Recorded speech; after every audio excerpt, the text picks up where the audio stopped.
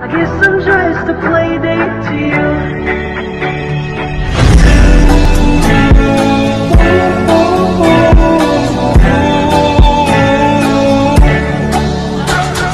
Hello, so I am going to be ranting on KineMaster's new update. The old update I had no complaints or anything, but now I know for a fact that the developer is doing this to make fun of us. I mean every time I try to export my videos, it crashes and sends me back to where I was before I tried to export it, and it glitches out of choices of video quality. When I tried to put it to HD, and others, it loaded but never stopped, so I now hate KineMaster.